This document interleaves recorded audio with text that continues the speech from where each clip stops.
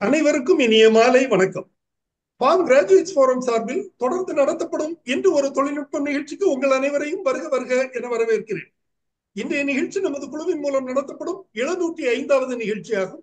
இன்றைய நிகழ்ச்சி தலைப்பு சேஃப் ஹேண்ட்லிங் ஆஃப் பெஸ்டிசைட்ஸ் அதாவது பூச்சி மருந்துகளை சரியான முறையில் கையாளுதல் என்பது தொடர்பான தகவல்கள் இன்று வழங்கப்பட உள்ளன. பூச்சி மருந்து என்பது ஒரு நஞ்சு ஆகும். இது உடலில் புகுந்தால் பூச்சிகளுக்கு மட்டுமல்ல மனிதர்களுக்கும் கேடு விளைவிக்கும் ஒரு நச்சு பொருள் ஆகும். வேளாண் விளைபொருட்களில் விளைவிக்கப்படும் பொருளில் இருபது முதல் அறுபது சதம் வரை பூச்சிகளால் இழப்பு ஏற்படுகிறது என்று கண்காணிக்க கணிக்கப்பட்டுள்ளது. எனவேதான் பூச்சிக்கொல்லிகள் முக்கியத்துவம் பெற்றன. ஆனால் பூச்சி மருந்துகள் தாய்ப்பால் வரை ஊடுருவி சென்று குழந்தையின் உடலையும் அடைகிறது. பூச்சி மருந்தை தவறாக கையாள்வதால் கண்கள் தோலில் அரிப்பு ஏற்பட்டு மற்றும் எரிச்சல் ஏற்பட்டு உபாதைகள் ஏற்படுகின்றன. இவை தவிர குருட்டுத்தன்மைக்கும் இது காரணமாக அமைந்து விடுகிறது. நாடு தன்னிறைவு அடைந்துள்ள நிலையில் பாதுகாப்பான உணவு முக்கியத்துவம் பெறுகிறது. சோ இன்றைய நிகழ்ச்சியில் பூச்சி மருந்துகளை சரியான முறையில் கையாளுவது எவ்வாறு என்பது தொடர்பான தகவல்கள் வழங்கப்படுகின்றன. இந்த தகவல்களை நமக்கு வழங்கிட சிறப்பு விருந்தினராக இங்கே வருகை புரிந்துள்ளார் திரு பி சிதம்பரம் அவர்கள். திரு சிதம்பரம் அவர்கள் ஈரோடு மாவட்டத்தை சார்ந்தவர். தமிழ்நாடு அரசின் வேளாண்மை துறையில் துணை இயக்குநராக பணிபுரிந்து ஓய்வு பெற்ற முன்னாள் அதிகாரி ஆவார். வாருங்கள் அவருடன் நினைவும் நிகழ்ச்சிக்கு செல்வோம். சிதம்பரம் பிளீஸ் எல்லோருக்கும் என்னுடைய மாலை வணக்கங்கள். இன்னைக்கு வந்து நம்ம இந்த நிகழ்ச்சியில வந்து பூச்சி மருந்துகளை சரியான முறையில் கையாளுதல் அப்படிங்கிற ஒரு ஹேண்ட்லிங் ஆஃப் பெஸ்டைட்ஸ் இப்போ நான் வேளாண்மை துறையில் வந்து ஒரு கிட்டத்தட்ட ஒரு பன்னெண்டு வருஷம் வேளாண்மை அலுவலர் பயிர் பாதுகாப்பு பணி புரிஞ்சேன். இந்த நிகழ்ச்சியில் கலந்து கொள்ளுண்ட கோஆர்டினேட்டர் நபருடைய ஜோ அவர்களுக்கும் வேளாண் விஞ்ஞானிகளுக்கும் பூச்சியல் வல்லுநர்களுக்கும் வேளாண்மை துணை இயக்குநர்களுக்கும் இணை இயக்குநர்கள் மற்றும் விவசாயிகள் அனைவருக்கும் என்னுடைய மாலை வணக்கத்தை தெரிவித்துக் கொள்கிறேன் இந்த ப்ரோக்ராம் வந்து ஒரு நம்ம ஒரு அவேர்னஸ் ப்ரோக்ராம் விழிப்புணர்வு ப்ரோக்ராம் வச்சுக்கலாம். நாங்கள் வேளாண்மை அலுவலர் பயிர் பாதுகாப்பா பய பணிபுரிஞ்ச போது விவசாயிகளுக்கு வந்து பூச்சி மருந்து எப்படி பயன்படுத்தணுங்கிறது ஒரு பயிற்சி கொடுத்தோம். அது இல்லாம அந்த பூச்சி மருந்து அடிக்கிறாங்க பாருங்க. அந்த பணியாளர்களுக்கு ப்ரொஃபஷனலாக இருப்பாங்க ஊர்ல. ஒரு கால்வாசி வேணா நம்ம விவசாயிகளே டைரக்டாக ஸ்ப்ரேயர் வச்சு அடிக்கிறவங்க இருப்பாங்க. அது முடியாதவங்க ஊருக்குள்ள ஒரு நாலு பேர் மூணு பேர் பூச்சி மருந்து தெளிக்கிறவங்களா கூட இருப்பாங்க. அவங்க இப்போ இப்போல்லாம் பார்த்தீங்கன்னா கிட்டத்தட்ட ஒரு டேங்க் வந்து ஐம்பது ரூபா நாற்பது ரூபா வாங்குறாங்க. களைக்கொல்லி அதிகமாக பயன்படுத்துகிறாங்க அது ப்ரொஃபஷனலாக அடிக்கிறவங்க இப்போ இருக்காங்க. அதனால் வந்து இந்த டாபிக் வந்து பூச்சி மருந்துகளை கையாளுதல்ங்கிறது ஒரு முக்கியமான ஒரு கருத்தை எடுத்துக்கணும். நம்மளுடைய இந்தியாவில் பார்த்தீங்கன்னா முன்னூத்தி பதினெட்டு வகையான பூச்சி மருந்துகள் இது வரைக்கும் பதிவு செய்யப்பட்டுள்ளது.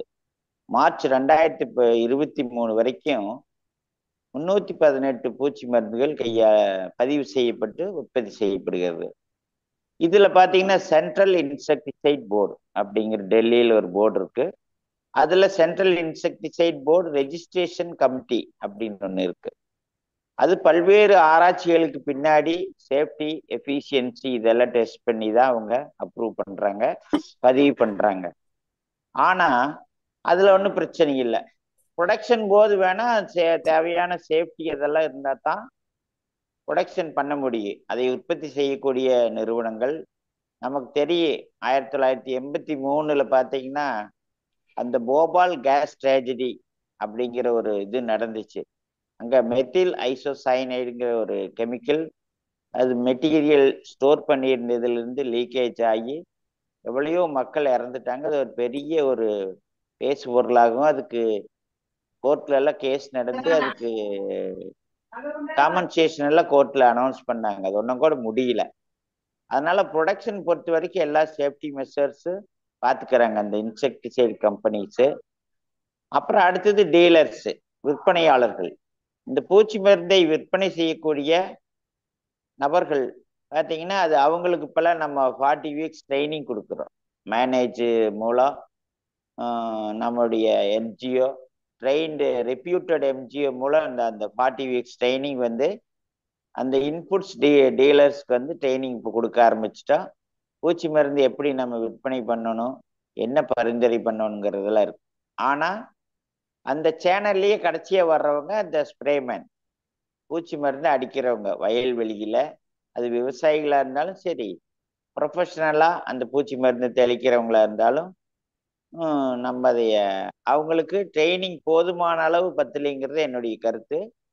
நாங்கள் வேளாண்மை அலுவலர் பயிர் பாதுகாப்பாக பணிபுரிஞ்ச போது அதனால் வந்து நம்ம அந்த ஸ்ப்ரே மேனுக்கு நல்ல ஒரு பயிற்சி கொடுக்கணும். அதுக்கு அதுக்காகத்தான் இந்த அவேர்னஸ் ப்ரோக்ராம் அது நம்ம வேளாண்மை துறை தோட்டக்கலைத்துறை எதாக இருந்தாலும் சரி நம்ம அது கொடுக்கணும். ஏன்னா அது ரொம்ப முக்கியம்.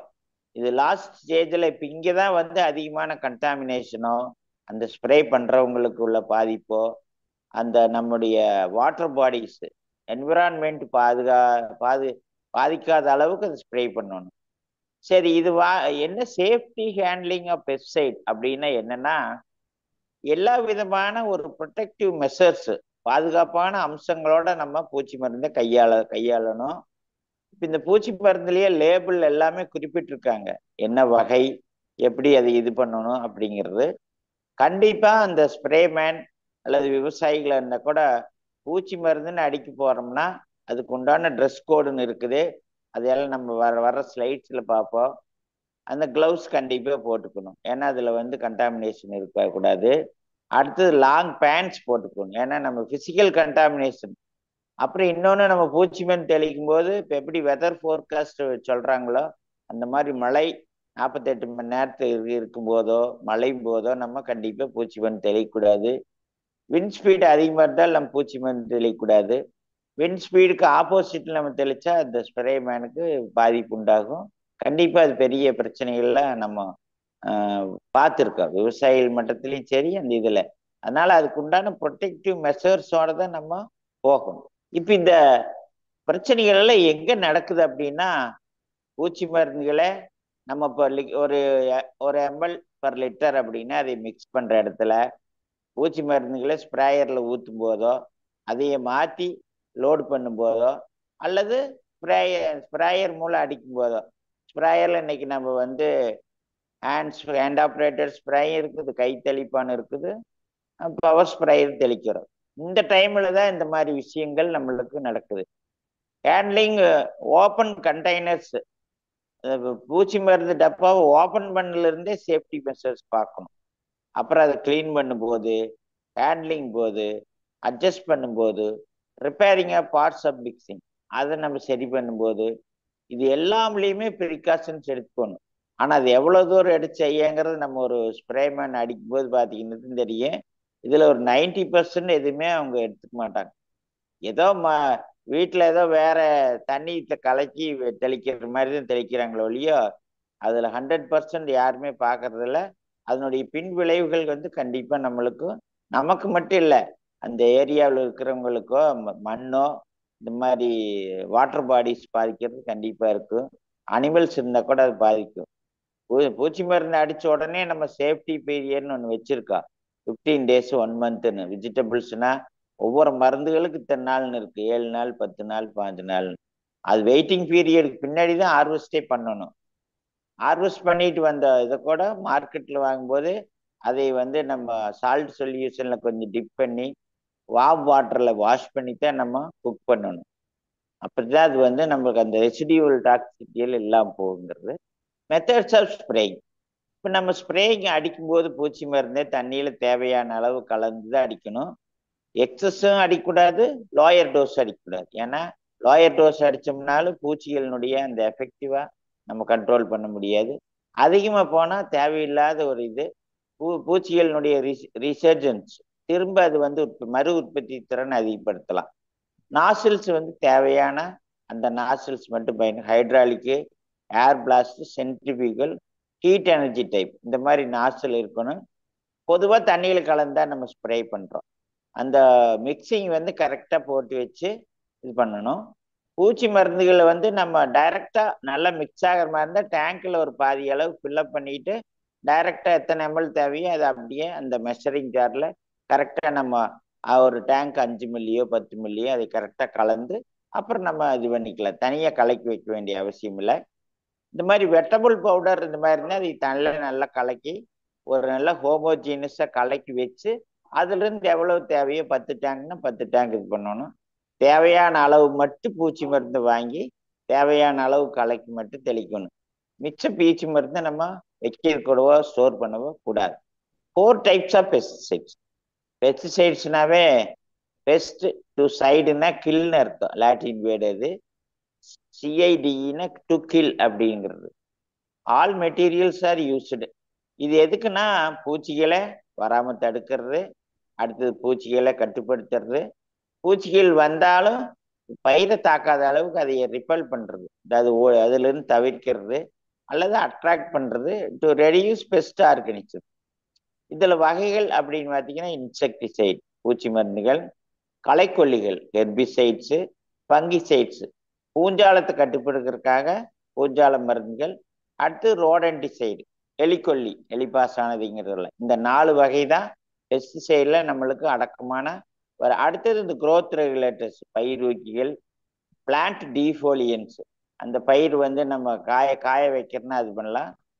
சர்ஃபேஸ் டிஸ்இன்ஃபெக்டன்ஸ் இதெல்லாம் வந்து some swimming pool chemicals swimming pool எல்லாம் கூட யூஸ் பண்ணணுங்கிறாங்க. ஏன்னா அது வந்து அந்த இன்ஃபெக்ஷனோ அதை யாருக்கு வரக்கூடாதுங்கிறதுக்காக ஒரு டோஸில் இது பண்ணி நம்ம பண்ணுறோம் ஈவன் நம்ம ட்ரிங்கிங் வாட்டரில் கூட நம்ம இது பண்ணுறோம் பண்ணித்தான் நம்ம குளோரினேட்டட் பண்ணித்தான் நம்ம இது பண்ணி அதை குடிக்கிறோம். ஏன்னா இந்த மாதிரி மழை காலத்தில் அதுவும் செய்கிறோம்.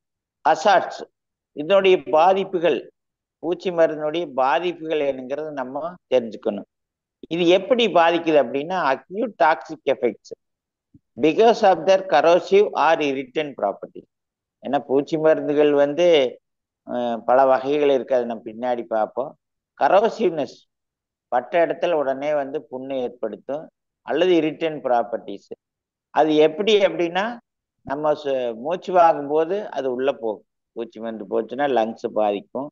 ஸ்கின்னு நம்ம தேவையான ப்ரொடெக்டிவ் கிளாத்தோ அல்லது ட்ரெஸ்ஸோ போட்டுக்கலிங்கன்னா நம்மளுடைய ஸ்கின் வழியாக போகும். உள்ளே போய் ரத்தத்தில் கலந்து நம்ம பாடி சிஸ்டத்துக்கு போயிரு. கண்ணில் பட்டாலும் இரிட்டேஷன் ஏற்படும் அதுக்காகத்தான் அந்த கண் கண்ணாடி எல்லாம் போட்டுக்கிறங்கிறது. அந்த அப்புறம் இந்த எக்யூப்மெண்ட் இதில் வந்து எல்லாமே வந்துரு. Irritation or damage corneal damage ஆயிடுச்சுன்னா அவ்வளோதான் பிளைட்னஸ் நம்மளுக்கு கண் பார்வை குறையலாம் அல்லது தெரியாமல் கூட போகலாம். அதனால சிவியர் பேர்ன்ஸு பர்மனன்ட் பிளைட்னஸ் இதெல்லாம் இருக்கும். அதனால வந்து இந்த ஹசார்ட்ஸ் எல்லாம் நம்ம வராமல் ப்ரிகாஷனாக நம்ம பாதுகாக்கணும். What is PPE for pesticide handling இது கண்டிப்பாக பிளான்ட் ப்ரொடெக்ஷன் இந்த இது எல்லாமே நம்ம refers to clothing or devices நல்ல ஒரு ட்ரெஸ் இருக்கணும். அது உள்ள போல அது உள்ள பூதாத அளவுக்கு வச்சுக்கணும். நம்ம அந்த ஸ்ப்ரே ஃப்ளூயிடு அடிக்கும்போது அந்த அந்த ஸ்ப்ரே இது வந்து நம்ம இது படக்கூடாது. பட்டாலும் உள்ள போகாத அளவுக்கு பாதுகாப்பாக நம்ம போட்டுக்கணும். இதில் என்னென்னா வந்து அப்பதான் எந்த விதமான ஒரு கா பிசிக்கல் கான்டாக்ட் இல்லாமல் போகும்.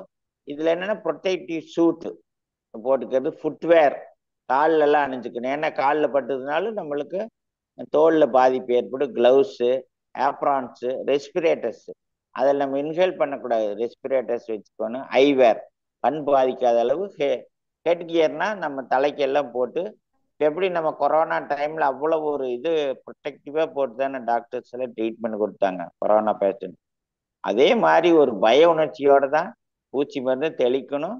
அதெல்லாம் போட்டுட்டு தான் நம்ம பூச்சி மருந்துகளை கையாளணும்.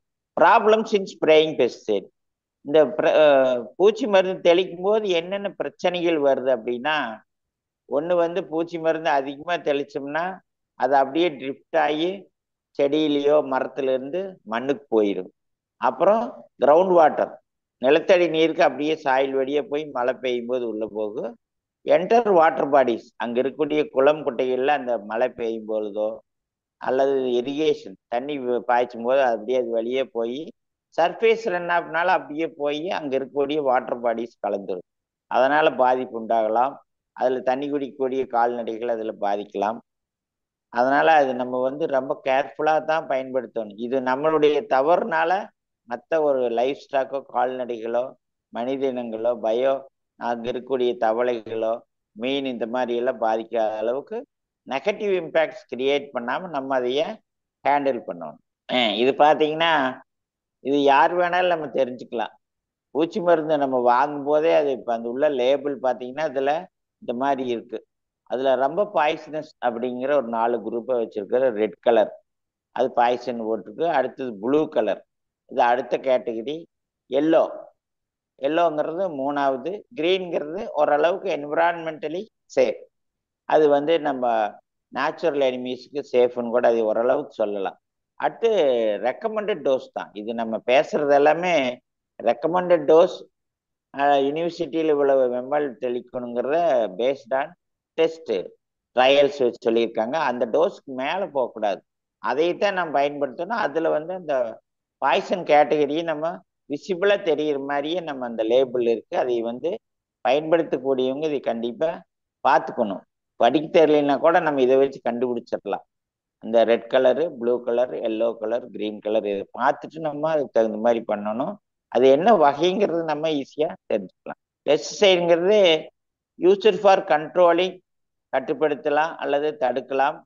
டெஸ்ட்ராயிங் அதை அழிக்கலாம் அல்லது அது வராமல் தடுக்கலாம். இப்போ முதல்ல ஸ்ப்ரே பண்ணிட்டா அந்த பூச்சி வந்து இந்த பயிரை தாக்காத அளவுக்கு அல்லது மிட்டிகேட்டிங் அதை தடுத்து நிறுத்துற அளவுக்கு இது பண்ணலாம். இது நம்ம பார்த்த கேட்டகரி தான். பங்கிசைடு ஹெர்பிசைடு நெமாட்டிசைடு இது ஒன்று இருக்கு. நெமாட்டிசைடு நம்ம விட்டுட்டோம். அந்த நூற்புழுக்களை அழிக்கக்கூடிய குருணை மருந்துகள். Desiccants defoliants plant growth regulators தான் இது. இது பாருங்க. இது நம்ம நார்மல் யூசேஜில் பயன்படுத்துறது தான் இதில் வேரியஸ் ஃபார்ம்ஸ் இருக்கு. இப்போ எல்லா பெஸ்டைடும் ஒரே மாதிரி இருக்காது. Emulsifiable ஈஸிமா forty percent EC twenty percent ஈஸிபா இது liquid formulation emulsifiable concentrate wettable பவுடர்னா நனையும் நனையக்கூடிய நான் தண்ணியை கரைச்சி அடிக்கிறத டபிள்யூபின்னு அதுலேயே போட்டிருப்பாங்க. ஆயில் சொல்யூஷன்ஸு ஃபாகிங் கான்சன்ட்ரேட்ஸ் இது நம்ம தெளிப்போம். டஸ்ட்டு சும்மா டஸ்ட் வந்து அப்படியே நம்ம தெளிக்கிறது அடுத்தது வந்து ஏரோசால்ஸ் இது ஒரு கெமிக்கல் கிரானுலர் பெஸ்டைட் இப்போ நம்ம கிரானுலர் பெஸ்டைடு நம்ம பயன்படுத்துகிறோம் நமாட்டிசைட்ஸ் இந்த மாதிரி விதத்தில் பயன்படுத்த ஃபியூமிகன்ஸு இதில் வந்து ஃபியூமிகன்ஸாக அது பிரிக்கலாம். சில இது வந்து நம்ம ஃபியூமிகன் டேக்ஷன் இருக்குது இப்போ நோவான் எடுத்துட்டிங்கன்னா அதுக்கு ஃபியூமிகன் டேக்ஷன் இருக்கு. அடுத்தது இம்பர்கனேட்டட் மெட்டீரியல்ஸ் அதில் மற்றதோட கலந்து அந்த பூச்சி மருந்து கொடுக்கறது. பெயிட்டு இப்போ நம்ம எலிக்கெல்லாம் பெயிட் வைக்கிறோம்ல அந்த மாதிரி டைப் இந்த ஃபார்ம்ஸ் ஆஃப் இன்செக்டிசைட் நம்ம வகையில் நம்ம பிரிக்கிறோம். இப்போ இது நம்ம எப்படி கண்டுபிடிக்கணும்? இதில் நம்ம பார்த்தீங்கன்னா வாட் பெஸ்டை நெசரி நம்ம அடிக்கக்கூடிய என்ன பூச்சி என்ன பயிர் அப்படிங்கிற எந்த மருந்து தெளிக்கணுங்கிறத நம்ம தெரிஞ்சுக்கணும். அடுத்து டைப் ஆஃப் பெஸ்டைடு அப்புறம் வேற அவைலபிள் எங்கே இருக்கிறது அது என்ன டோஸில் அடிக்கணும்? டோஸில் அடிக்கணும் டைல்யூஷன் நம்ம பார்க்கணும். எவ்வளோ தூரம் நம்ம டைல்யூட் பண்ணி அடிக்கணுங்கிறது நம்ம பார்த்துக்கணும். அடுத்து மெத்தட் ஆஃப் அப்ளிகேஷன் அது எவ்வளோ தூரம் கலந்து எப்படி அடிக்கணுங்கிறது ப்ரிகாஷனரி மெசர்ஸ் அதுலேயே இப்போ நம்ம இந்த லேபிளில் படித்தோம்னாவே எவ்வளோ தூரம் ப்ரிகாஷனரி மெசர்ஸ் எடுக்கணும்? ஒரு பூச்சி மருந்து ஏதாச்சும் பிரச்சனைன்னா ஆன்டிடோடெல்லாம் நம்ம எவ்வளோ பயன்படுத்தலாங்கிறது எல்லாமே கொடுத்துருப்பாங்க. காஸ்ட்டு கன்ஃபர்மிட்டிஸ் நாட்டு பேண்ட் லிஸ்ட். இப்போ நிறைய அன்னைக்கெல்லாம் பார்த்தீங்கன்னா ஒரு பதினாலு இருபது ரெஸ்ட்ரிக்டட் யூஸ் இப்போ நம்ம இந்த இதெல்லாம் கூட வந்து ஃபியூமிகண்ட்ல நம்ம மஞ்சளுக்கு இதுக்கெல்லாம் பயன்படுத்த முடியல. ஸ்டோர்டு பெஸ்ட் அதெல்லாம் ரெஸ்ட்ரிக்டட் யூஸ் தான் நம்ம பயன்படுத்துகிறோம் அந்த மாதிரி அந்த கேட்டகரியில் வருதாங்கிறத நம்ம பார்த்துக்கணும். அடுத்தது பர்ச்சேஸ் கரெக்ட் ப்ராடக்ட் நம்ம வாங்குறோமாங்கிறத பார்க்கணும். அது ஒன்று buy from repute reputed source fake ப்ராடக்டோ அல்லது இன்செக்டிசைடு கம்பெனியா இல்லைங்கிறத நம்ம கன்ஃபார்ம் பண்ணிக்கணும். பேக்கு என்ன பேக் தேவையோ அது மட்டும்தான் வாங்கணும். தேவையெல்லாம் வாங்கி அதை ஸ்டோர் பண்ணியோ வேற இருக்கக்கூடாது. எக்ஸ்பைரி டேட் கண்டிப்பாக எக்ஸ்பைரி டேட்டுக்குள்ளே முன்னாடியே புதுசாக வந்த ஒரு கெமிக்கல் தான் நம்ம வாங்கி ஒரு மாதம் ரெண்டு மாதம் வச்சுருக்குறோம். அது எக்ஸ்பைரிக்கு முன்னாடியே நம்ம பயன்படுத்திக்கணும். அப்புறம் டேமேஜ்டு லீக்கிங் பேக்ஸு இந்த மாதிரி பேக்கிங் உடஞ்சதோ லீக்கிங் ஆகிறதோ அந்த மாதிரி இதெல்லாம் நம்ம கண்டிப்பாக வாங்கக்கூடாது. வாங்கி வரும்போது நம்மளுக்கு அதனால் சில இதெல்லாம் இருக்கலாம். Keep pesticide away from passengers இந்த பெஸ்டைல் என்ன ப்ராப்ளம்னா நம்ம வாங்கி வந்து வீட்டில் வைக்கிறதோ எங்கே ஓப்பன் இதில் வைக்கிறதோ ஃபுட் மெட்டீரியல்ஸோட வைக்கிறதோ வைக்கக்கூடாது. அது தனியாக ஒரு இப்போ நம்முடைய பண்ணை வீடு இருக்குன்னா அங்கே வச்சு லாக்கன் கீழ் வச்சுக்கணும். அவங்க தான் எடுக்கணும் அவங்க தான் பயன்படுத்தணும். தேவையில்லாத மற்றவங்க அது யாரு பயன்படுத்துறத நம்ம அலோவ் பண்ணக்கூடாது. அல்லது மிஸ்யூஸோ அல்லது தவறுதல் ஆயிடுச்சுன்னா அது ஒரு பெரிய உயிர் இழப்புகளை ஏற்படுத்தலாம். குறிப்பாக கால்நடைகள் பெட் அனிமல்ஸ் எல்லாம் அது இல்லாமல் பார்த்து ஸ்டோரேஜ் இது ரொம்ப முக்கியங்க. முதலே நம்ம பார்த்தோம் தேவையான அளவு பெஸ்டைடு வாங்கிட்டு யூஸ் பண்ணிட்டு வச்சுக்கணும். ஒரு கண்டெய்னர் ஓப்பன் பண்ணி வைக்கிறதே நம்ம தப்பு. அதே கண்டாமினேஷனுக்கு இதாகும். அல்லது அது கமந்து போயோ அல்லது சரியான மூடி வைக்கலினாவே அது வேற விதமாக ஆப்டிமம் ஸ்டோரேஜ் கண்டிஷனில் வைக்கணும். ஏன்னா சில பெஸ்டைட் எல்லாம் பார்த்தீங்கன்னா அந்த ஆவியாகும் தண்ணி. இப்போ சம்மர்லலாம் நம்மளுக்கு நாற்பது நாற்பத்தி மூணு டிகிரி வந்துச்சு. அந்த டைம்ல பெஸ்டைட் எல்லாம் அவ்வளோ டெம்பரேச்சரில் வச்சோம்னா கண்டிப்பாக அது ஆவியாகிறது மூலமாக அது பெரிய பாதிப்புகளை ஏற்படுத்தலாம். க்ளோஸ் ரூம்லலாம் வைக்கும்போது அது கண்டிப்பாக இதாகும். அதனால தேவையான அளவு பயன்படுத்திட்டு நம்ம போய்க்கணும். அவாய்டு ஓவர் ஸ்டாக்கிங் அந்த மாதிரி இதெல்லாம் இருக்கக்கூடாது. Store pesticide according to different classes அது பிரகாரம் பயன்படுத்திக்கணும். அதை வாட்ச் பண்ணிட்டு இருக்கணும்.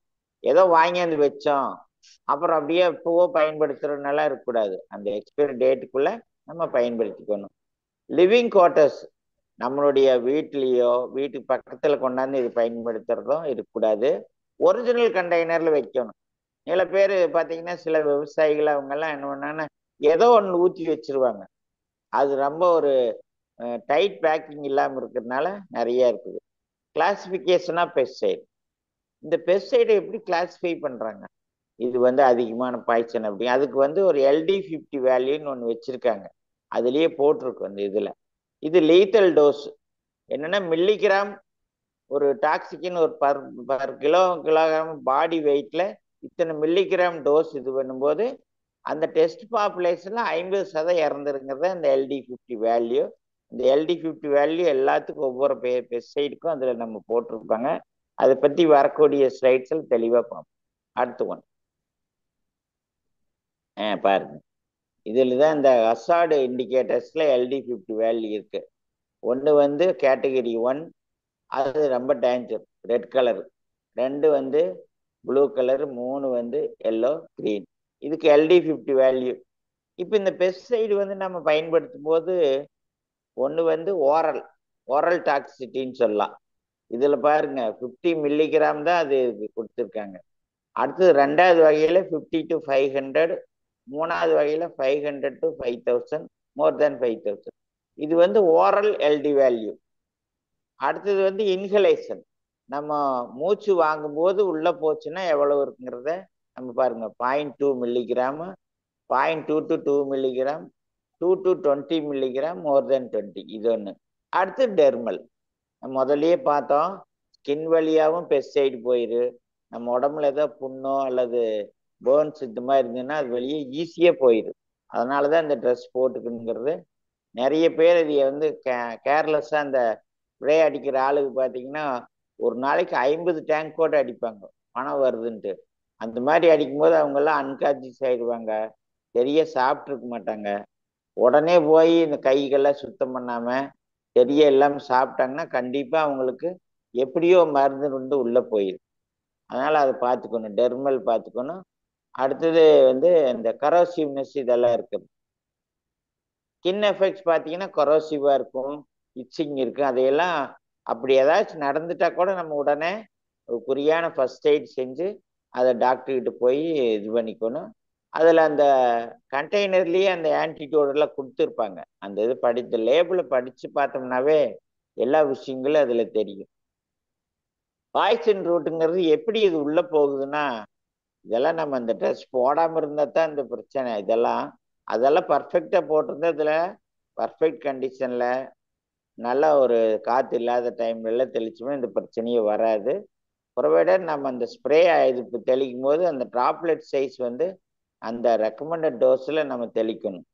ஸ்கின்னு ரெஸ்பிரேட்டரி சிஸ்டம் அல்லது மவுத்து இது வழியே தான் நம்மளுக்கு உள்ளே போகுது ஸ்ப்ரே அடிக்கும்போது. அதனால் அது இல்லாமல் பார்த்துக்கணும் அந்த பாய்சன் ரூட்ஸை நம்ம தவிர்க்கணும். என்ட்ரி வயா ஸ்கின் பாருங்க. இது வந்து நைன்டி பர்சன்ட் ஸ்கின் வழியே தான் உள்ளே போகுதுங்கிறாங்க. Concentrate penetrate skin more rapidly then water mixtures இந்த கான்சன்ட்ரேஷன் வந்து ஸ்கின் வழியாக தான் ஈஸியாக உள்ள போகுது. ஹேண்ட்ஸு ஃபீட் நம்ம பாதங்கள் வழியாக சரியான ப்ரொடெக்டிவ் மெஷர்ஸ் இல்லைன்னா அது வழியே உள்ளே போயிடுது.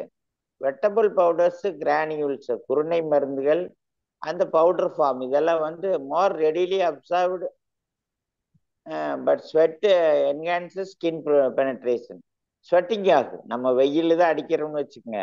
அந்த டைமில் ஸ்வெட்டிங்கில் வந்து ஈஸியாக நம்ம அந்த ஸ்வெட்டிங்கோட கலந்து நம்ம ஈஸியாக உள்ளே போயிடுது ஹேண்ட்லிங் நம்ம அதை பயன்படுத்தும் போது அதை மாற்றும் போது கலக்கும் போது mixing கான்சி exposes exposes the operators to higher risk than actual application மருந்து அடிக்கும் போது விட இந்த மாதிரி ஒரு செயல்கள் நம்ம இது வரும்போது அதிகமான அந்த ரிஸ்க் அதிகமாக போயிடுது டிகிரி ஆஃப் ஃபசாட் டிபெண்ட்ஸ் ஆன் டெர்மல் டாக்ஸிட்டி அந்த வேல்யூ பார்த்தோம் பார்த்தீங்களா? அதை வச்சு தான் நம்ம அதனுடைய அந்த டாக்ஸிட்டி நம்ம எக்ஸ்போசரு பாடிக்கு போகும்போது இதாகும். Time lag between exposure and tea decontamination அந்த கேப்பில் நம்ம இது பண்ணணும். அடுத்தது எக்ஸ்போசர் த்ரூ இன்ஹலேஷன் நம்ம மூச்சு வாங்கும்போது இழுக்கிறது அந்த ஒரு அடுத்தது வழியா அது வழியாகவும் நம்ம பூச்சி மருந்துகள் உள்ளே போகலாம். ஸ்ப்ரே ட்ராப்லெட்ஸ் ஆர் டஸ்ட் அந்த ட்ராப்லெட் சைஸ் வச்சு அல்லது ம காற்று அடிக்கும் திசையில் நம்ம அடிக்காமல் எதிர் திசையில் போனோம்னா கண்டிப்பாக நம்ம நம்ம மேலே தான் அதிகமாக அந்த ஸ்ப்ரே ஃப்ளூயிடு உள்ளே போயிருக்கு cause damage to nose throat lung lung tissues எல்லாம் ஈஸியாக அஃபெக்ட் ஆயிரு அது சில ஃபியூமிகண்ட் இதெல்லாம் நம்ம நோவானோ மோனோக்கொட்டை பசம் அடிக்கும் போது நல்ல வித்தியாசம் தெரிய அந்த மாதிரி டைமில் ஒரு அஞ்சு டேங்க் அடித்தாங்கனாவே அந்த ஸ்ப்ரே மேன் அடிக்க மாட்டாங்க. போயிடுவாங்க. அதுக்குள்ளேயே நம்ம அவங்களால முடியாது. அந்த அளவுக்கு பாதிகளுக்கு அடுத்தது வேப்பர்ஸ் அண்ட் ஏர்சால் இந்த சீக்கிரமாக ஆவியாகக்கூடிய ஹை டெம்பரேச்சரில் அடிக்கும்போது அந்த இதாகும். அந்த ட்ராப்லெட் சைஸ் பார்த்தீங்கன்னா be less than ten microns லங்ஸில் போய் fifty to hundred microns impact அந்த நேசல் லைனிங் நம்ம மூக்கு சுவாசிக்கும் போது அது வெளியே போய் நம்ம உள்ள அந்த இரிட்டேஷன் ஏற்பட்டு அதனுடைய பாதிப்புகள் இருக்கலாம். Higher risk when working in எண்டா என்டாஸ் enclosure spaces இதை வந்து நம்ம மூடிய ஒரு ரூம்குள்ளே வச்சு இது பண்ணோம்னா அதிகமான பாதிப்புகளை நம்ம வாலட்டைல் அந்த ஹை டெம்பரேச்சர் இப்போ நம்ம சம்மர்லலாம் பார்த்தீங்கன்னா இந்த வருஷம் ஃபார்ட்டி த்ரீ ஃபார்ட்டி ஃபைவ் டிகிரியெல்லாம் வந்துச்சு. அந்த மாதிரி டைம்லலாம் ஸ்ப்ரே இது அடிக்கும்போது ஈஸியாக வால்டைல் இது அப்படியே இதாகியும் அதை பண்ணிடுது. ப்ராடக்ட் வித் ஃபியூமிகன்ட் ஆக்ஷன் அந்த ஆவியாகும் தன்மையுள்ள ஸ்ப்ரே இன்செக்டிசைடெல்லாம் முது அதிகமான பாதிப்பு ஏற்படும். எக்ஸ்போசர் த்ரூ மவுத் இது எங்க நடக்கு அப்படின்னா less common in practice but serious conscious smoking இந்த மாதிரி ஸ்ப்ரே அடிக்கிறவங்க பார்த்தீங்கன்னா சில டைமு அந்த ஸ்ப்ரே முடிக்காம ஸ்மோக்கிங் பண்ணுவாங்க. பசி டைம்ல ஏதாச்சும் ஒரு சாப்பிடுவாங்க. அந்த டைம்ல எல்லாம் கை வாஷ் பண்றது எதுவும் இருக்காது. அதனால அந்த ஸ்ப்ரேயிங் ஆரம்பிச்சா ஆரம்பிச்சதுலேருந்து முடிக்கிற வரைக்கும் மினிமம் தான் அடிக்கணும். ரொம்ப நேரம் நான் ரொம்ப வைட் ஏரியா வந்து படிச்சுட்டே இருந்தோம்னா அவங்க பசியாகிடுவாங்க அந்த டைமில் ஏதாவது சாப்பிட்டாங்கனாலும் இந்த மாதிரி ஒரு கண்டாமினேஷன் அவங்க உணவு வழியே போயிடும் ஸ்வெட்டிங் எல்லாம் இது பண்ணோம்னா கை வழியாக அது வைப்போம் அதனால தான் அந்த ட்ரெஸ் வந்து கண்டிப்பாக நம்ம அதை பயன்படுத்தணும். அதை நம்ம இன்சிஸ்ட் பண்ணணும். நம்முடைய துறையிலேயோ விவசாயிகளுக்கு அதை நம்ம கிளீனிங் ஸ்ப்ரே நாசல் அப்புறம் அந்த கிளாக்கிங் இருந்துச்சுன்னு வச்சுங்க டஸ்டெல்லாம் அப்போ வந்து வாயிலேயே ஊதி அதை சரி பண்ணணும்னு நினைப்பாங்க. அதெல்லாம் ஒரு தவறு. அதை ஃபில்டர் பண்ணி தான் நம்ம ஊற்றிக்கணும் அதனால் அந்த ஹேண்ட்லிங் போது ஸ்ப்ரேயிங் விட அந்த பூச்சி மருந்தை கலக்கி பயன்படுத்தக்கூடிய டைமில் தான் அதிகமாக accidental touching the skin skin மேலே அந்த ஸ்ப்ரே ஃப்ளூயிட் பட்டாவே ஈஸியாக ஸ்கின் வழியாக அப்சர்வ் ஆகி அப்புறம் நம்மளுடைய வாய் வழியே போகிறது இதெல்லாம் இருக்கணும். பொதுவாக பார்த்தீங்கன்னா ஒருத்தரே ஸ்ப்ரே பண்ணுவார் அல்லது ரெண்டு பேர் இருப்பாங்க. கண்டிப்பாக அந்த ஸ்ப்ரே மேனு கூட ஒரு அசிஸ்டன்ட் இருக்கணும். ரெண்டு பேரும் ப்ரொட்டக்டிவாக அந்த கிளாத் போடுறது எல்லாம் வச்சு அவரை இது பண்ணணும். ஆக்சிடென்டல் கண்டாமினேஷன் நான் ஃபுட் ஸ்டெப்ஸ் டியூரிங் டிரான்ஸ்போர்ட்டேஷன் எடுத்துகிட்டு போகும்போது ஃபுட் ஸ்டெப்ஸில் இதாகிறதுக்கு வாய்ப்பு உண்டு அதனால் இந்த சாப்பிட்றது போகிறதெல்லாம் எதுவும் வச்சுக்கூடாது. ஸ்ப்ரேயிங் ஆரம்பித்து முடிச்சுட்டு நல்லா வாஷ் பண்ணிட்டு குளிச்சுட்டு அந்த ஸ்ப்ரே எக்யூப்மெண்ட்ஸ் எல்லாம் க்ளீன் பண்ணி வச்சுட்டு தான் சாப்பிட போகணும். மெஷரிங் அண்ட் மிக்சிங் இதுதான் நம்ம பேசிட்டு இருந்தோம். இந்த ஸ்ப்ரேயிங் இன்செக்டிசைடை ஓப்பன் பண்ணதுலேருந்து அது என்ன டோஸு மிக்சிங் இது அந்த இன்ஸ்ட்ரக்ஷன் பிரகாரம் கரெக்டாக மிக்ஸ் பண்ணி ரெக்கமெண்டட் டோஸில் தான் நம்ம அடிக்கணும். ஹையர் டோஸ் அடிக்கக்கூடாது லோயர் டோஸ் அடிக்கக்கூடாதுங்கிறத நம்ம பார்த்துக்கணும். அது வெட்டபிள் பவுடரா? அந்த லிக்யூ ஊற்றின உடனே கரையுது. அதெல்லாம் பார்த்துட்டு நம்ம இது பண்ணணும். டு நாட் ஃபில் ஸ்ப்ரேயர் நம்ம ஸ்ப்ரேயிங் அடிக்கும்போது பாருங்க ஏ ஒரு பறந்த ஏரியா கவர் பண்ணான்னு வழியே அடிப்போம். பதினாறு லிட்டர்னா பதினாறு லிட்டரே வைக்கும். அந்த மாதிரி அடிக்கக்கூடாது. ஏன்னா இந்த ஸ்ப்ரேயிங் இப்போ ஸ்ப்ரேயர் மெயின்டெனன்ஸ் நம்ம பார்த்தோம்னா தெரியும். இப்படி உட்காந்து வரப்புல எழுந்தி போய் அடிக்கும்போது அதில் அப்படியே தழும்பி மேலே கொட்டுச்சுன்னா அதுக்குள்ளே ஸ்கின் வழியாக பரவும். ட்ரெஸ் நம்ம போடலின்னா கண்டிப்பாக அது பாதிப்பை உண்டாகும். அதனால இந்த டைம்ல ரொம்ப ப்ரிகாஷனாக இருக்கணும். அந்த ஸ்ப்ரேயிங் பண்ணுறவங்களும் அந்த விவசாயியும் அதை கண்காணிப்பாக பார்த்துக்கணும். அவாய்ட் ஸ்கின் கண்டாமினேஷன் இந்த ஸ்கின் கண்டாமினேஷன் பார்த்தீங்கன்னா பெரிய ஒரு பிரச்சனை உண்டாகிடுது அது இன்னைக்கு இல்லை. இப்போ உடனே தெரியாது. மறுபடி காலப்போக்கில் அதனுடைய ஸ்கின் வந்து ஒரு பெரிய பிரச்சனை உண்டாகி இப்போ எப்படி பார்த்தீங்கனால ஸ்கின் அலர்ஜி வருதோ அதே மாதிரி இந்த கெமிக்கல் உள்ளே போயிடுச்சுன்னா பெரிய ஒரு இழப்புகள். எங்கள் ஊர்லேயே ஒரு ரெண்டு மூணு பேர் ஸ்ப்ரேயிங் பண்ணுறவங்கெல்லாம் குறைஞ்ச வயசுலேயே இறந்துட்டாங்க. அல்லது ஹேண்ட்லிங் இது நம்மளை என்ன பண்ணிடு அப்படிங்கிறாங்க. கண்ணிலெல்லாம் மருந்து துளியோ ஸ்ப்ரே ஃப்ளூயிடோ பட்டால் அதை நல்லா வாஷ் பண்ணிடுவோம் டென் மினிட்ஸ் வாஷ் பண்ணி ரெஸ்ட் எடுக்கணும். அதை நிறுத்திட்டு மறுபடியும் இது பண்ணணும். அது ஒரு முக்கியமான இது. Do not measure out or mix pesticide in near houses வீட்டுக்கு பக்கத்துலேயோ நம்மளுடைய கால்நடைகள் கட்டியிருக்கக்கூடிய அந்த தொண்டுப்பட்டி அந்த ஏரியாவிலையோ வச்சு மிக்ஸ் பண்ணக்கூடாது. வாட்டர் பாடிஸ் இருக்கக்கூடிய இடத்துலையும் மிக்ஸ் பண்ணக்கூடாது. அதனால அதெல்லாம் இதெல்லாம் தவிர்த்துட்டு ஒரு பாதுகாப்பான இடத்துல தான் இந்த ஹேண்ட்லிங் பண்ணிட்டு நல்லா வாஷ் பண்ணணும். வாஷ் பண்ணி அங்கேயே ஊற்றிடக்கூடாது மண்ணுலேயோ ஏதோ ஒன்று ஏதோ ஒரு கால்நடைகளோ ஏதோ ஒன்று வந்தால் வாட்டர் நம்முடைய அந்த தண்ணி போச்சுன்னா அது வழியாக கூட உங்களுக்கு போயிடும் யூஸ் சூட்டபிள் எக்யூப்மெண்ட் தேவையான அளவுக்கு never scoop or stir pesticide with bare hand இந்த க்ளவுஸ் எல்லாம் கண்டிப்பாக தேவை. ஏன்னா இது எல்லாமே வந்து நம்முடைய அந்த கண்டாமினேஷன் தவி தவிச்சுட்டு தான் இருக்கணும் use cleanest available water filter out debris சுத்தமான தண்ணி தான் இது பண்ணணும். சுத்தமான தண்ணி தான் நம்ம வச்சு அதை பயன்படுத்தணும். ஏன்னா இந்த நாச்சல் பிளாக்கேஜ் எல்லாம் இருந்ததுன்னா அதுக்கு நம்ம அவசரப்பட்டு ஏதோ ஒன்று செஞ்சோம்னா அதில் நம்முடைய கண்டாமினேஷன் வரும். அதனால அந்த லிக்விடு டிரான்ஸ்ஃபர்மேஷன் ரொம்ப முக்கியம். அந்த நாசில் எல்லாம் ஊதுறதோ க்ளீன் பண்ணுறதோ எல்லாம் வாயில் வச்சு கூட பண்ணுவாங்க எல்லாம் சில டைமு அது ரொம்ப தவறான ஒரு இதுங்கிறது நம்ம சொன்னால் கூட ஏற்றுக்க மாட்டாங்க சில ஆளுக்கு அது பல்வேறு பிரச்சனை உண்டாகும். Handle dust and wettable powders carefully to avoid fluffing off இது stand off wind wind direction இப்போ நம்ம மருந்து எப்படி வந்து இந்த மாதிரி ஃபோர்காஸ்ட் டைமில் மீனவர்கள்லாம் மீன் பிடிக்க போனாங்களோ அதே மாதிரி கண்டிப்பாக நம்ம அந்த வெதர் ஃபோர்காஸ்ட்டு கா காற்று அடிக்குது அப்படின்னா அந்த அல்லது மழை வருதுன்னா நம்ம கண்டிப்பாக அதை ரெக்கமெண்ட் பண்ணுறதில்ல ஸ்ப்ரேயிங்கோ எதுனாலும் தள்ளி வைக்க சொல்கிறோம் உரம் போடுறது தள்ளி போடுறோம். அதே மாதிரி அந்த டைமில் நம்ம இது பண்ணக்கூடியது wash all equipments after use தரவை வாஷ் பண்ணி நம்ம எடுத்து காய வச்சு வைக்கணும். அப்புறம் தான் நம்ம பயன்படுத்தணும் இன்னொன்று முக்கியமாக பார்த்தீங்கன்னா ஹெர்பிசைட் பயன்படுத்தி நிறைய விவசாயிகள் இவங்க மறுபடியும் அதே இது நல்லா வாஷ் பண்ணாமல் இன்னொரு பக்கம் போய் பூச்சி மருந்தை கலக்கி அடிப்பாங்க. அப்போ அந்த பாயருக்கு இந்த ரெசிடிவல் இது ஹெர்பிசைடு அந்த டேங்க்ல இருந்தாவோ பெரிய இழப்புகளை ஏற்படும். மிக்சிங் வெசல்ஸ் நல்லா வாஷ் பண்ணணும். நம்முடைய கை இதெல்லாமே வாஷ் பண்ணி நீட்டாக இருக்கணும். லெஃப்ட் ஓவர் ஆஃப் அன்வான்ட் க கான்சென்ட்ரேட்டட் இதெல்லாம் எங்கேயுமே வைக்கக்கூடாது. சுத்தமாக எடுத்து வச்சுட்டு போகணும். அது பயன்படுத்தும் போது அந்த இது எது இல்லாமல் நம்ம பார்த்து செக் பண்ணிட்டு தான் பயன்படுத்தணும் டிஸ்போசல் ஆஃப் கண்டெய்னர்ஸ் இது நிறைய பேர் என்ன செய்வோம்னா வயலை நம்ம நம்ம ஃபீல்டில் பார்க்கும்போது பாருங்க அங்கங்கே கிடக்கும். அது சுத்தமாக கழுவி கூட மாட்டாங்க. கடைசியை ஊற்றிட்டு அப்படியே போட்டிருப்பாங்க. அந்த அந்த கண்டெய்னர் மூடி கூட மூட மாட்டாங்க. அங்கங்கே வயலில் கிடக்கு நம்ம பார்த்து தெரிஞ்சுக்கலாம். என்ன ஃபங்கிசைடு யூஸ் பண்ணாங்க? அந்த கண்டெய்னர் கிடக்கு. அந்த பாட்டில் அப்படியே இருக்கு. அந்த அலுமினியம் கண்டெய்னர் எல்லாம் இருக்கு. All empty container must safely dealt with அது சுத்தமாக இது பண்ணணும். மெட்டல் கேன்ஸ் இதெல்லாம் இருந்ததுன்னா அதைய சுத்தமாக எடுத்துகிட்டு போய் வாஷ் வாஷ் பண்ணி பஞ்சர் பண்ணி இது பண்ணுறது இதெல்லாம் கொண்டு போயிடணும் அந்த பிளாஸ்டிக் பிளாஸ்டிக்காக இருந்ததுன்னா வாஷ் பண்ணி அதை வந்து ப- வந்து அங்கேயே பேர்ன் பண்ணி இது பண்ணணும். ரொம்ப பேக்கேஜ் இருக்கும். அந்த வயல்லையே போடுறது. அதை எடுத்து நம்ம வேற ஏதாச்சும் கொஞ்சம் பயன்படுத்துவோம். கார்ட்போர்ட் பேக்கேஜிங்னா பேன் பண்ணிக்கலாம். மற்ற இதெல்லாம் எடுத்துட்டு போய் சேஃபான இடத்துல டிஸ்போஸ் பண்ணணும்.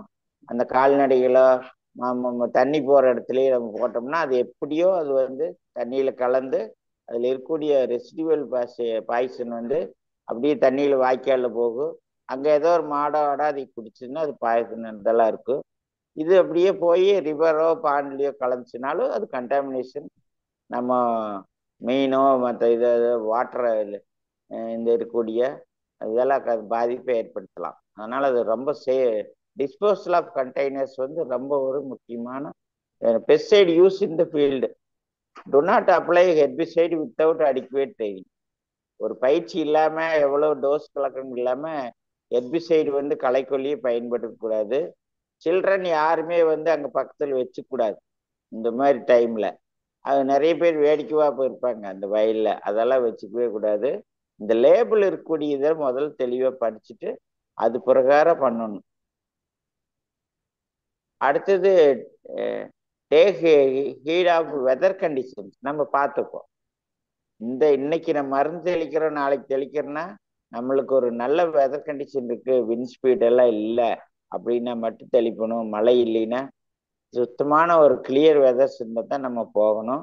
அதை நம்ம எல்லாம் பார்த்துட்டு தான் நம்ம பெஸ்டைடோ எதுனாலும் நம்ம தெளிக்க ஆரம்பிக்கும் ப்ரொடெக்டிவ் கிளாத்து இது கண்டிப்பாக எல்லாருமே பயன்படுத்தணும். எப்படி கொரோனாவில் நம்ம பார்த்தீங்கன்னா அவ்வளவு ட்ரெஸ் போட்டாங்க. பார்க்கறக்கே நம்ம ஆச்சரியமாக இருந்தது. இவ்வளவு ட்ரெஸ் போட்டு அவங்கள எப்படி டாக்டர்ஸ் நர்ஸ் எல்லாம் அவ்வளோ ஒரு ப்ரொடெக்டிவா இருந்தாங்க. அதே மாதிரி ஒரு பயம் பூச்சி மருந்தோ எது தெளித்தாலும் நம்ம அந்த கிராச்சிங் இருக்கணும். அப்போ தான் நம்ம வந்து வேணாண்டு அது அந்த ட்ரெஸ் எல்லாம் ஆக்சுவலாக ஒவ்வொருத்தருமே அது இருந்தால் தான் அலோவ் பண்ணணுங்கிற மாதிரியோ அல்லது அந்த பெஸ்டைட் ஸ்ப்ரே பண்ணுறவங்களுக்கு ஒரு நம்ம ட்ரைனிங் கொடுத்து நம்ம துறை மூலமாகவும் அவங்களுக்கு தேவையான ஒரு பயிற்சியோடு அவங்க செய்கிறாங்கிறத நம்ம பார்த்தோம்னா தான் நம்ம சொல்லக்கூடிய இந்த இத்தனை பிரச்சனைகளை நம்ம ஈஸியாக அவாய்ட் பண்ண முடியும். இல்லைன்னா சும்மா ஏதோ வந்து தெளிச்சுமா அப்படின்னு போயிடுவாங்க. விவசாயிகள் அதை அப்படியே விட்டுருவோம். அதனால அது ஒரு ட்ரைனிங் கொடுத்து அவங்களுக்கு ஒரு லைசன்ஸ் மாதிரி கூட கொடுக்கறதுக்கு நம்முடைய துறைகள் பற்றி இனி வரக்கூடிய நம்ம இந்த அடுத்து வரக்கூடிய நம்ம இன்ட்ராக்ஷன்ல கூட அதை பற்றி நம்ம ஒரு ஒரு மாடியூலோ அல்லது ஏதோ ஒரு நம்ம ஒரு ரெக்கமெண்டேஷனும் கொடுக்கலாம். அரசுக்கு அது கொடுத்தோம்னா உண்மையில் அது வந்து இந்த மாதிரி ஒரு ஹசார்ட்ஸ் இல்லாமல் நம்ம பயன்படுத்தலாம். அடுத்து டைப்ஸ் என்னென்னங்கிறது இந்த பூட்ஸு நம்ம அந்த காலணிகளை அணிஞ்சுக்கணும் க்ளவுஸு இதெல்லாமே இருக்குது நம்ம கடையில். எப்படி அந்த ஃபயர் சர்வீஸில் அவங்கெல்லாம் பயன்படுத்திட்டு தானே வர்றாங்க ஒரு ஃபயர் ஃபைட்டிங் எக்யூப்மெண்ட்ஸோட வர்றாங்க. ஹெட் கவரு அப்புறம் எல்லாமே வச்சுக்கணும். ரெஸ்பிரேட்டர்ஸ் வித் ஃபில்டர்ஸு அப்புறம் ஓவராலாக when wearing overall the trousers legs இது எல்லாமே வந்து rubber boots to avoid drainage of pesticide into boots இந்த மாதிரி அது பார்த்தோம்னாவே ஒரு ஒரு ஸ்ப்ரேயிங் அடிக்கிறவருங்கிற மாதிரி ஒரு லுக் இருக்கும்.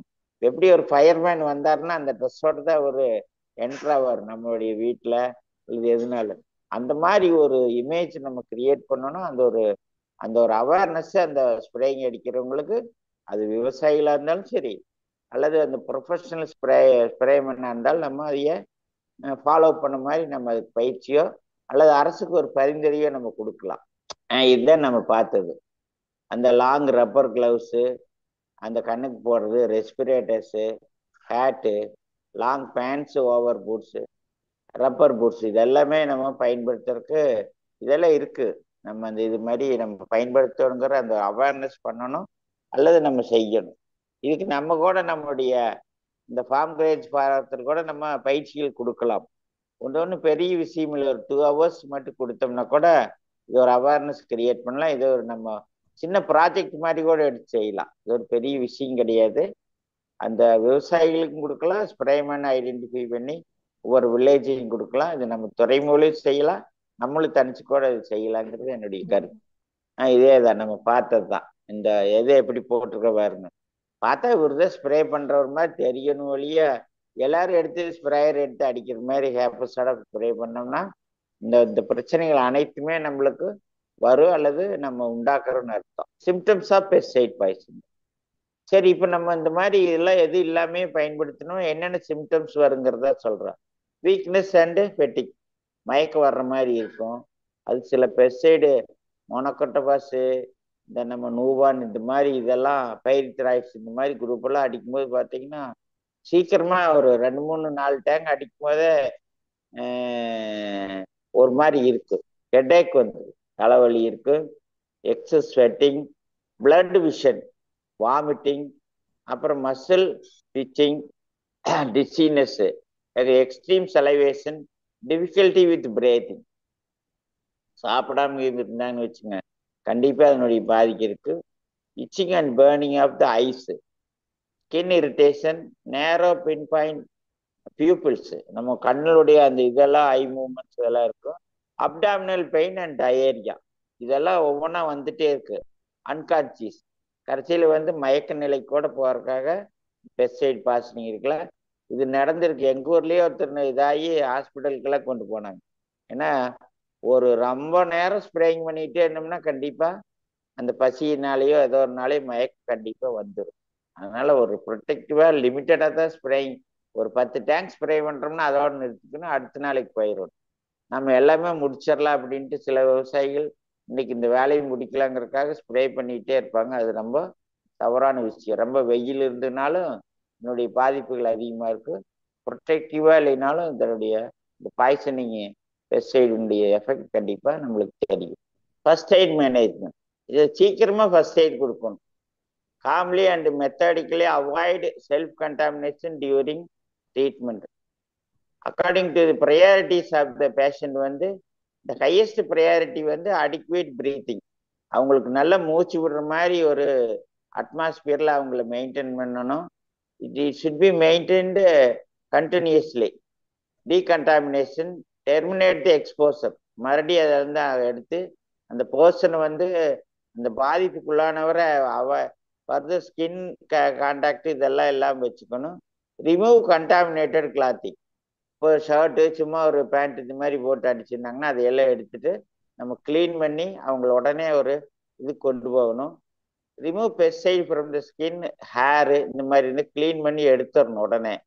அவங்கள ஒரு சுத்தமான ஒரு சூழ்நிலை கொண்டு போகணும். அல்லது பக்கத்தில் ஹாஸ்பிட்டல் இருந்தால் டக்குன்னு கொண்டு போய் அவங்களுக்கு தேவையான wash with copious quantity of water for ten to fifteen minutes அவங்க உடம்புல அந்த கண்டாமினேட்டட் ஸ்ப்ரே ஃப்ளூயிட் பட்டிருந்துன்னு நம்ம அறிஞ்சோம்னா அவங்க நல்லா இது பண்ணி சுத்தம் பண்ணிக்கிறணும் அல்லது சுத்தமான கிளாத்தில் சொல்யூஷன் எல்லாம் படாமல் இது பண்ணணும்.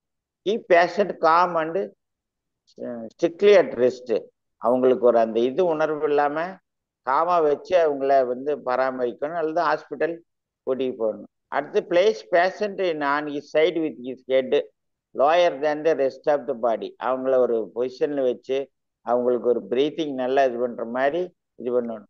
பேஷண்ட் இஸ் அன்கான்சியஸ்னு வச்சுங்க. ஒரு மயக்கமாக வர்ற மாதிரி இருந்ததுன்னா அவங்கள வந்து அந்த சின் வந்து pulled forward and the back to ensure breathing takes place அந்த மாதிரி ஒரு சூழ்நிலைக்கு நம்ம ஒரு கன்ஜஷன் இல்லாமல் ஒரு பயம் இல்லாமல் அதை ஹேண்டில் பண்ணணும். அல்லது பக்கத்தில் ஒரு டாக்டர் இருந்தாருன்னா உடனே அங்கே கொண்டு போய் ஒரு ஹாஸ்பிட்டல் நம்ம தேவையான ஃபர்ஸ்ட் எய்ட் நம்ம கொடுக்கணும். கோல்டு வாட்டர் இதை வச்சு நம்ம கிட்ட சுத்தம் பண்ணி அந்த பேஷண்ட்டை அந்த சுச்சுவேஷன்லேருந்து நம்ம மாற்றி அவருக்கு தேவையான ட்ரீட்மெண்ட்டு அந்த இது வாஷிங் இது எல்லாமே பண்ண ஆரம்பிக்கும். இண்டக்ஷன் ஆஃப் வாமிட்டிங் இது வந்து இது எப்போ செய்யணும் அப்படின்னா இஃப் நெசசரி அது செய்யணும். அடுத்து never give anything by mouth அந்த டைமில் அவங்களுக்கு எதுவுமே நம்ம கொடுக்கக்கூடாது. ஆச்சுங்களா? If breathing stops patient's face tongue may turn blue இந்த மாதிரி இருந்துச்சுன்னா அந்த மாதிரி சிம்டம்ஸ் வந்துடும் அதை நம்ம கேர்ஃபுல்லாக அதை அவாய்ட் பண்ணி நாங்கள் நாக்கு அடிச்சுக்காம ஏதாச்சும் ஒன்று கொடுத்து அவங்கள அதை பாதுகாத்துக்கணும். இது அதை நம்ம பார்த்துக்கணும். அல்லது ஃபர்ஸ்ட் எய்டுக்கு ஒரு டாக்டர்கிட்ட போய் உடனே நம்ம இது பண்ணிக்கணும்.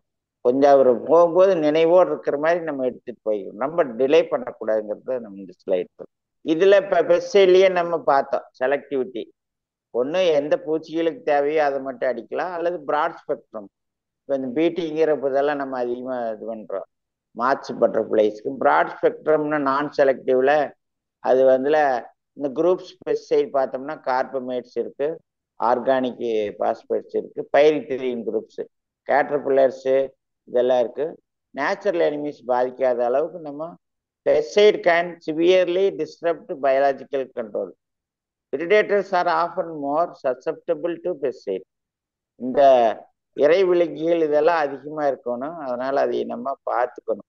அதுதான் அதுக்காக தான் சொல்கிறது recommended dose which are non toxic to honeybees அந்த தேனீக்களுக்கு மற்ற ப்ரிடேட்டர்ஸ்க்கெல்லாம் பாதிப்பு இல்லாத அளவுக்கு டோஸ் தேவையான அளவு நம்ம ஸ்ப்ரே பண்ணுவோம். வாட்டர் கண்டாமினேஷன் இது நம்ம பார்த்தது தான்.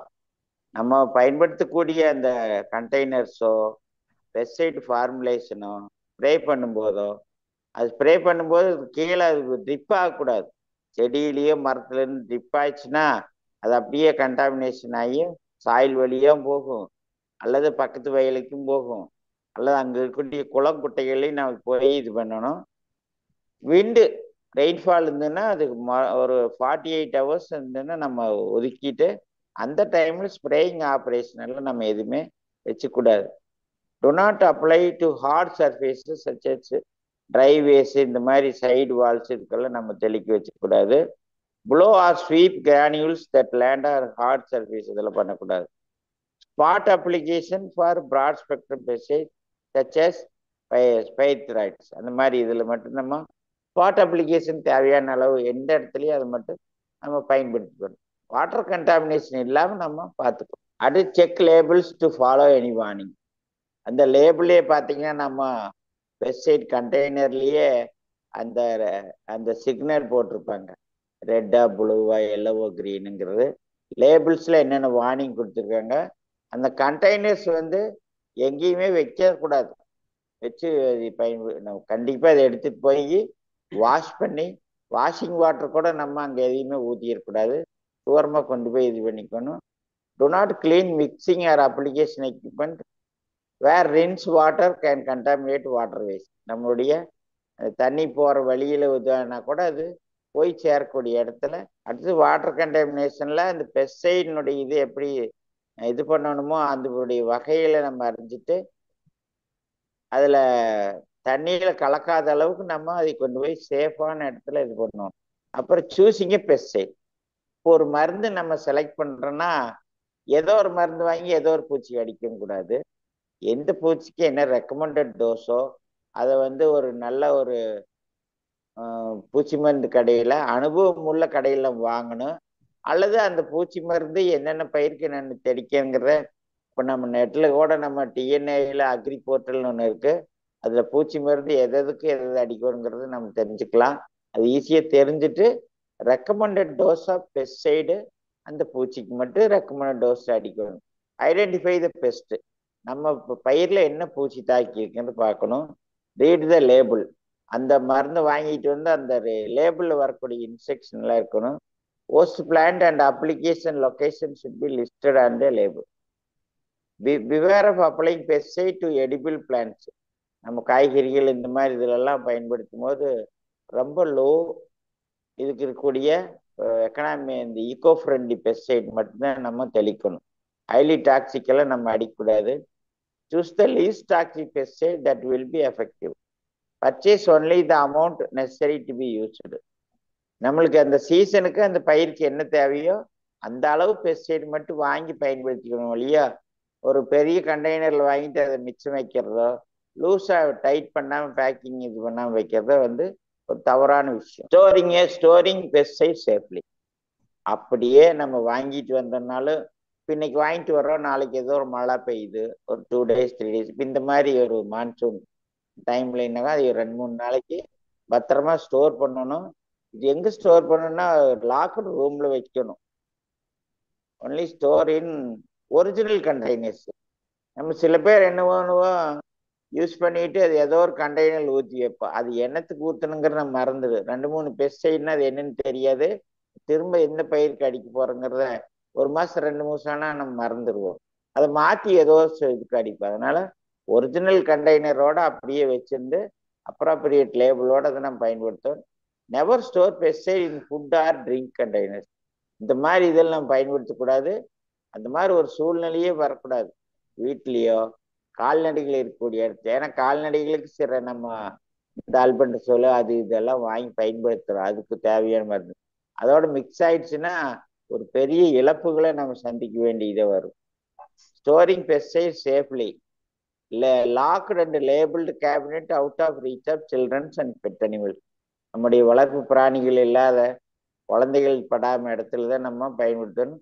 குறிப்பாக வீட்டுக்குள்ள பெஸ்டைடுவே கொண்டு வரக்கூடாது. அது எங்கே இருக்கணும்னா அது பண்ணை பண்ணை வீட்லேயே நம்ம லாக் பண்ண ரூம்லயோ அல்லது ஒரு கண்டெய்னரில் பூட்டி நம்ம அவுட் ஆஃப் ரீச் தான் நம்ம வச்சு திரும்ப பயன்படுத்தணும் அல்லது தேவையான அளவு வாங்கி யூஸ் பண்ணிட்டு டிஸ்போஸ் பண்ணிக்கிறோம். ஸ்டோரிங்கிற இதே வேண்டியது seven habits of responsibility while handling and applying pesticide இது ரொம்ப முக்கியம் இது இந்த செவன் ரூல்ஸுங்கிறது ரொம்ப முக்கியம். Only registered pesticides. இது மட்டும் தான் நம்ம யூஸ் பண்ணணும். அடுத்தது பெஸ்டைடெல்லாம் டிரான்ஸ்போர்ட் பண்ணும்போது சேஃபாக கொண்டு போகணும். அடுத்தது வந்து ஸ்டோர் பெஸ்டைடு சேஃப்லி அது யூஸ் பண்ணணும். அடுத்தது வந்து மெயின்டைன் தி ஸ்ப்ரே எக்யூப்மெண்ட்ஸு. அது இப்போ ஸ்ப்ரே எக்யூப்மெண்ட் வந்து நம்ம கரெக்டாக வாஷ் பண்ணி ஸ்ப்ரேக் முடிச்சுட்டு நல்லா க்ளீன் பண்ணி பர்ஃபெக்டாக வச்சுருக்கணும். இந்த நாசில் க்ளீன் பண்ணணும். ஹெர்பிசைட் பயன்படுத்தணும்னா அது ரொம்ப க்ளீன் பண்ணி ஒரு சுத்தமாக வச்சு அடுத்தது இன்செக்டிசைட்ஸுங்கிறது எது ஸ்ப்ரே பண்ணாலுமே அதை சுத்தம் பண்ணி அந்த வாசம் இல்லாமல் நல்லா க்ளீன் பண்ணி எடுத்து வச்சிடணும். அவசரத்தில் நம்ம பண்ணாமட்டோம்னா நாசல் கிளாக் ஆயிடும் வெட்டபிள் பவுடரெல்லாம் பயன்படுத்திட்டோம்னா அது சுத்தமாக க்ளீன் பண்ணி மறுபடி அந்த ஃப்ளூயிடையே நம்ம க்ளீன் பண்ணி அடித்து பார்த்து அந்த நாசல் வந்து கிளியராக இருக்கணும். அடுத்து பயன்படுத்தும் போது அப்போ தான் அந்த இதெல்லாம் கண் இதே இருக்காது. அந்த கிளாக்கிங்கெல்லாம் இருக்காது. வேற அப்ராப்ரியேட்டு பர்சனல் ப்ரொடெக்டிவ் எக்யூப்மெண்ட் அதெல்லாம் நம்ம அடிச்சு இதெல்லாம் போட்டுட்டு ஸ்ப்ரே பண்ணணுங்கிறது தான் ப்ராக்டிஸ் பர்சனல் ஹைஜீன் நம்ம வந்து ஸ்ப்ரேயிங் முடிச்சுட்டு நீட்டாக குளிச்சு சுத்தமாக நம்ம சோப் போட்டு குளிச்சு எந்த விதமான பெஸ்டைட் ரெசிடிவோ நம்ம உடம்புலையோ கையிலையோ இல்லாத அளவுக்கு பார்த்துட்டு அப்புறம் தான் போய் நம்ம சாப்பிடணும். அதுக்காக தான் இந்த செவன் பாயிண்ட்ஸ் நம்ம சொல்கிறோம் அதனால் இந்த பாயிண்ட்ஸ் எல்லாம் கண்டிப்பாக ஹண்ட்ரட் பர்சன்ட் நம்ம அதை செஞ்சோம்னா தான் இந்த மாதிரி பெஸ்டைட் கண்டாமினேஷன் ஒன்று ஸ்ப்ரேயிங் மேனுக்கும் பாதுகாப்பாக இருக்கும். அடுத்தது அந்த இருக்கக்கூடிய அந்த பண்ணையிலேயே எல்லாருக்கும் பாதுகாப்பு இருக்குங்கிறது தான். இது பாருங்க அந்த எல்டி ஃபிஃப்டி வேல்யூ இதில் வந்து ஓரல் டெர்மல் கொடுத்துருக்காங்க. எக்ஸ்ட்ரீம்லி ஹசாடஸ் அப்படின்னா இது வந்து எலிக்கு எலிக்கு தான் கொடுத்துருக்காங்க. For the rat milligram per KG of body weight அது பாருங்க ஓரல்னா less than five milligram per KG டெர்மல்னா வந்து ஃபிஃப்டி கிராம் மில்லிகிராம் ஹைலி ரெண்டாவது கேட்டகரி ஃபைவ் டு ஃபிஃப்டி இது வந்து fifty to two hundred moderately hazard third category வந்து ஓரல்னா fifty to two thousand இது two hundred to two thousand அடுத்தது slightly ஹசாடஸ்னா more than two thousand இது over two தௌசண்ட்ங்கிறது unlikely to present present acute hazard five thousand or higher இந்த LD fifty value தான் இதனுடைய அந்த இது சொல்கிறது அதனால் இந்த மாதிரி கேட்டகரிஸ் ஆஃப் பெஸ்டைடு இன்னும் ரொம்ப காசியஸாக பயன்படுத்தணும். எல்லாமே பெஸ்டைடுனா பாய்சன் தான். அதனால் நம்ம இது பண்ணிக்குவோம் பாருங்க இது வரைக்கும் நம்ம முந்நூற்றி பதினெட்டு பெஸ்டைட்ஸு ரெஜிஸ்டர் ஆயிருக்கு. இந்த ரெஜிஸ்ட்ரேஷனு ப்ரொடக்ஷன் இது மேனுஃபேக்சரிங் இதெல்லாம் ஓகே ரீட்டைல் டீலர்ஸும் ஓகே நம்ம எங்கே அதிகமாக கான்சென்ட்ரேட் பண்ணோம்னா துறை அலுவலர்களோ விவசாயிகளோ இந்த பைய பூச்சி மருந்தை வாங்கிட்டு வந்து பயிரில் தெளிக்கும் போது அதை பயன்படுத்தும் போது ஸ்டோர் பண்ணும்போது தான் ரொம்ப காசிஷாக அதனுடைய அந்த ட்ரெஸ் கோடு கண்டிப்பாக வச்சுருக்கணும். அப்போ தான் நம்ம அதனுடைய பாதிக்கப்புகள் இல்லாமல் நம்ம இப்போ தேவையான அளவுக்கு தேவையான ரெக்கமெண்டட் டோஸ் யூனிவர்சிட்டியில் ஒவ்வொரு பயிருக்கும் எவ்வளோ டோஸ் அடிக்கணுங்கிற அதையெல்லாம் நம்ம இல்லாமல் பயன் உரிய ப்ரிகாஷனோட முன்ஜாக்கிரதையை பயன்படுத்தினா தான் இந்த பெஸ்டைடு யூசேஜை நம்ம பயன்படுத்தலாம். இதனால் நம்மளுக்கும் பாதிப்பு வராது. என்விரான்மெண்ட்டும் பாதுகாப்பாக இருக்குது இதனுடைய பாதிப்புகள் இல்லாமல் நம்ம சரியான செய்யலாங்கிறது என்னுடைய கருத்து. இதுக்கு நம்ம இந்த ஸ்ப்ரேமேனுக்கோ ட்ரைனிங்கோ இதை பற்றி நம்ம ஏதாச்சும் ஒரு மாடியூலோ அல்லது அரசு பரிந்துரையோ நம்ம கூட கொடுக்கலாம்.